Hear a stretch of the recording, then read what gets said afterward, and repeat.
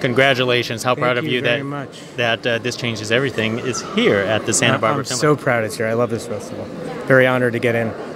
now, where did the origination of the idea for this uh, film? Well, I from? did a documentary in 2000, came out on HBO in 2013 called Casting By, which was an examination of the profession of the Hollywood casting director. And uh, what I discovered in doing that was that that's a profession dominated by women. The casting society, I think, is over 75% female. And it's the only category in the main titles that doesn't have its own Oscar. And so I went on a journey to find out why, and it's because it is dominated by women. So I started to understand the systemic roadblocks that women faced in Hollywood. Mm-hmm. And in 2015, I was asked if I would consider doing a doc on the larger issues that women face. And to me, it was a continuation of the work I was already doing. And we went ahead and we raised the money and spent the next three years making the movie. Premiered at Toronto in 2018, and now we're here. I mean, I mean, it, it is a very, uh, very big subject uh, that's actually going on right now. it, it was amazing after Trump got elected how it kind of blew the issue Yeah. wide open. That was bad for the world, but fortuitous for us.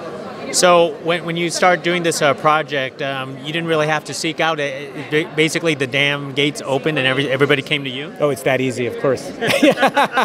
we had people say no, no, no. And then, really, after Time's Up and the Me Too movements, people started feeling more comfortable about saying yes. Mm-hmm. It definitely helped. But people were willing to go in front of the camera 2015 onward.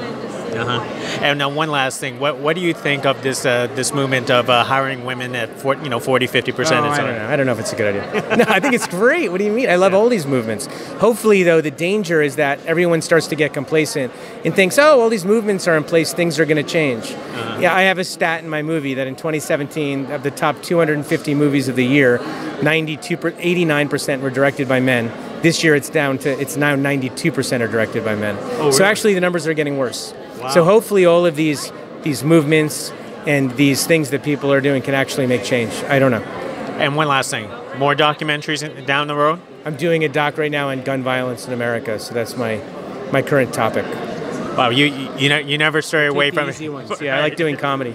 Excellent. Okay. Hey, thank, Thank you you very, very much. much. Thank you, Nice sir. you. Thank you.